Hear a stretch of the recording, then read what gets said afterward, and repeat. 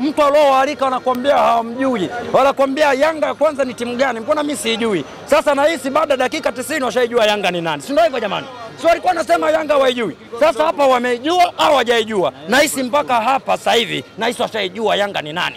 Sasa tuwaambie welcome to Dar es Salaam Yanga African, karibuni Tanzania, na tumewakaribisha kwa kuwamba kigoli kimoja cha cha pa, pam, pam. Sawa, na sisi tayari washamjua Yanga ni nani. Waziri, wa burudani Mwambie. Eh bwana, eh, yule mwananchi ni hatari. Yule jamaa ukimwangalia kule pembeni alikuwa anaondoka na kijiji chote, mpaka wale jamaa akasema huyu jamaa kweli ni Mbappe kweli, maana yule jamaa alivyokuwa anaondoka na kijiji kule, mpaka nikasema mama mama mama mama mama. Ukimwangalia ukija kumwangalia Mkudu unasema ya ya ya Marcelo huyu hapa, unaona bwana. Kwa unaona ni jinsi gani kwamba yani msimu huu kwa kweli watu maji wataita mma Yanga yani, nimekwambia ndoyo ambayo tulienda kutolewa kwa kanuni kule kafu, haki ya Mungu msimu huu yani, naomba zile timu amba, labda niletee Barcelona, Arsenal, Manchester, sijui Liverpool, lakini wakiniletea Waarabu sijui Kaizer Chiefs, waniletee sijui na, na bomoa tu sijui Raja Casablanca. Kwa huyu sasa alikuwa ni mbabe watoto wa Mudi. Mnakumbuka mtoto wa Mudi alipigwaga nawe, si mnakumbukumbu? Sasa nahisi hapa nimeshaenda kumlipia yale mazambi, nimemtwanga. Kwa hiyo sasa Simbilisi yale majozi aliokuwa analia kwa kutwanga na waiza Kaiza Chifu kwao nimeshamlipia. Sasa naimba kanyimbo, unajua kaka nyimbo nikiimba kuna watu na walenga, ewe njiwa, ewe njiwa, peleka salamu kwa wale, kwa wale, kwa wale wapendwa. Kuna wapendwa wako wawili wapo Tanga kule kwenye ngao ya jamii Azamu kwanza, mi naweza navyokwenda kukutana na Azamu kwenye mechi ya tarehe tisa, yule naweza nikasema naenda kwenye matanga, maana nishamzikaga kaburi la futi, ta- futi moja yule kwenye, kwenye, kwenye, kwenye nini kwenye, kwenye, kwenye, kwenye fainali ya Azam Federation. Kwa hiyo tarehe tisa nakwenda kwenye matanga, nitakachokwenda kumfanya Azamu tunajua alichukuliaga yule Feitoto. Sasa Feitoto tarehe tisa nakwenda kumwonyesha kazi ya kwenda kufanya.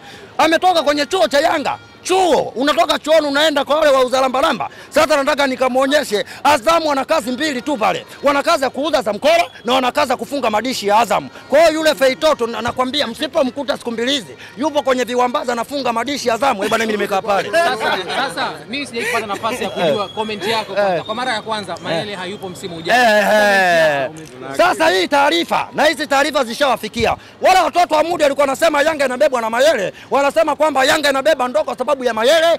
Sasa na hisi leo sasa bila no Mayele, wazungu wanasema no Mayele, Waswahili wanasema hakuna Mayele, Wahetu tunasema Mayele nangu na sufari, na bado tumemtwanga kitu cha msonda hiko. Sasa tuambie wasije kabadilisha kauli, nitakapokwenda kumning'iniza kama ndoano na nimemvua samaki kwenye maji, asije akasema he, jamani kumbe huyu Mbappe ambaye ni skudo, kumbe Yanga ni hatari. Mimi mpaka nasajili mno wachezaji, nishaangalia mashuti ya mbali. Huyu jamaa amecheza na Ziziki, nani ya Ziziki, blockbuster anazopiga ndo huyu bwana. Ambayo ni nini?